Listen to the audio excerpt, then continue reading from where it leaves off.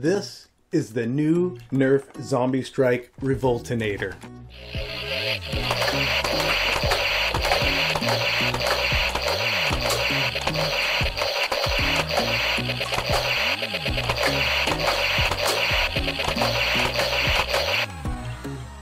Howdy all you cowboys, cowgirls, gunfighters, and Nerf enthusiasts.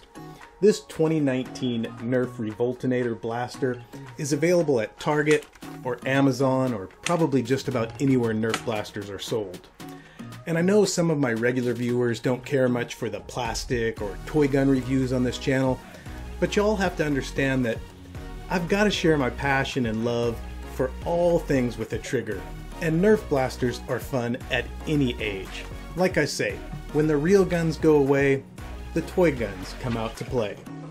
So whether you're here for yourself, or you're shopping for your kids or grandkids, or if you're just a fan of the show, I appreciate you watching. Never grow up. Included in the package with this blaster is the blaster, of course, one cool magazine that looks like it was cobbled together out of some sort of diamond plate steel.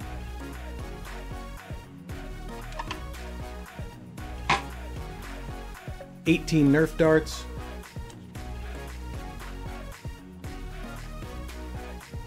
and of course, the instructions.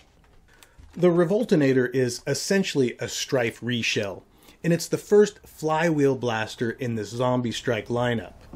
For those viewers that are unfamiliar with what that means, the Revoltinator has wheels that begin spinning when the rev trigger is pressed.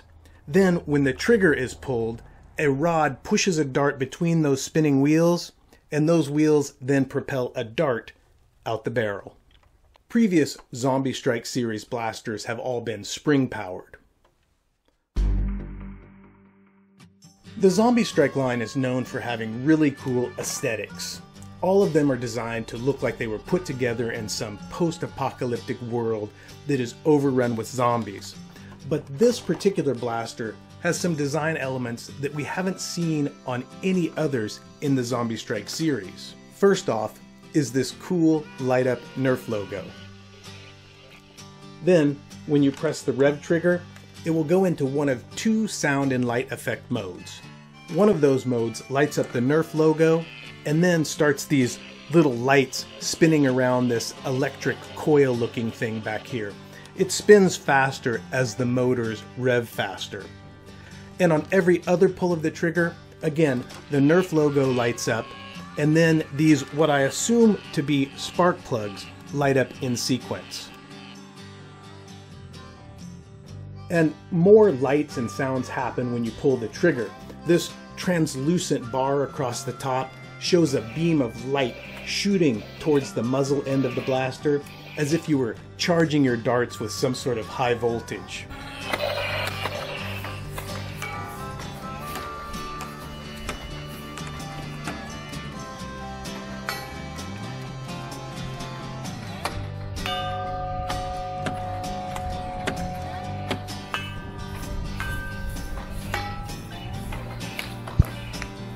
Of course, there are lots of other details on the blaster for kids of all ages to muse over.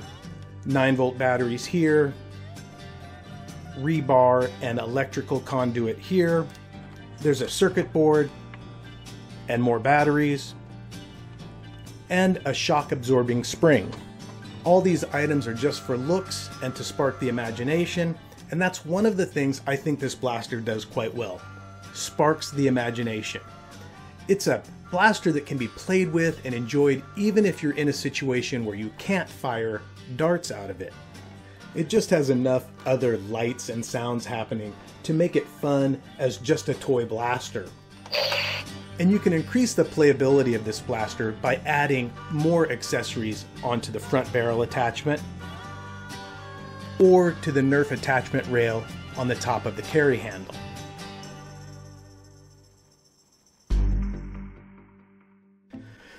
Oh, I don't know. I suppose the stock could be a little longer so that it could be shouldered more comfortably for an adult sized person.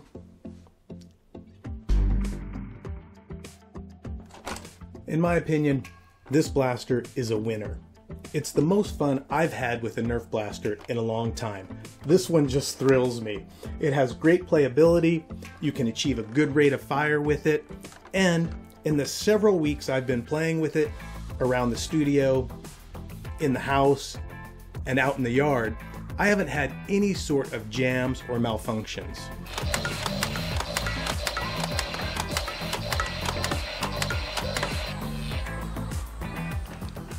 All in all, this blaster gets two gunfighter thumbs up from me.